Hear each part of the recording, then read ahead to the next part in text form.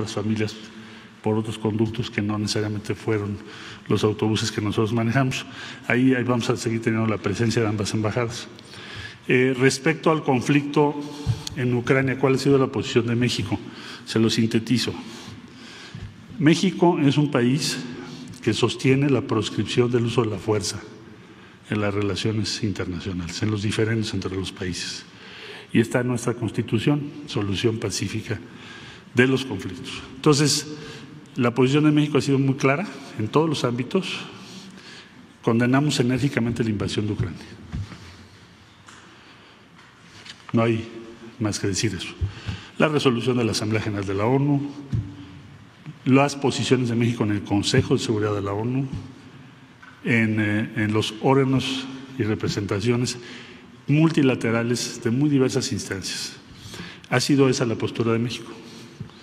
Eh, ¿Qué es la principal preocupación que México tiene ahorita? ¿O qué es lo que estamos promoviendo? La ayuda humanitaria. Que se le dé una oportunidad a la política y a la diplomacia para encontrar una forma de proteger a la población civil y de defender los valores en los que creemos junto con otros países. Es decir, que pueda haber ayuda humanitaria, que se limite el conflicto y que se proteja a la población civil. En eso estamos trabajando ahora, en, este, en estas horas, junto con otros países. Eh, se me ha preguntado sobre sanciones, simplemente específico. México eh, nunca ha aplicado sanciones unilaterales contra otro país. ¿A qué estamos obligados, México? Bueno, estaríamos obligados si el Consejo de Seguridad de la ONU aplica sanciones multilaterales. ¿Cuál es la diferencia?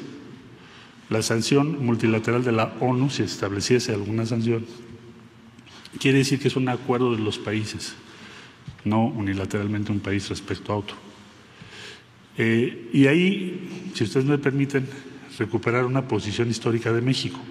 Siempre hemos estado en contra del derecho de veto de algunos países. Entonces, las resoluciones del Consejo de Seguridad se han enfrentado a un veto, en este caso, por parte de Rusia, en otros casos por parte de otro país. Eh, siempre se consideró desde 1945 que no debería existir ese derecho de veto. Bueno, estamos viendo por qué, no debería haberlo. Entonces, México no va a participar en, ningún tipo de sanción que no sean las sanciones multilaterales que en su caso aprobase el Consejo de Seguridad de la ONU. Ha sido la postura histórica de nuestro país. En eso no hay ninguna ambigüedad. Es una línea histórica, como el principio de no intervención. Eh, hoy se publica en Reforma que se iba a publicar un acuerdo respecto a la exportación de tecnologías.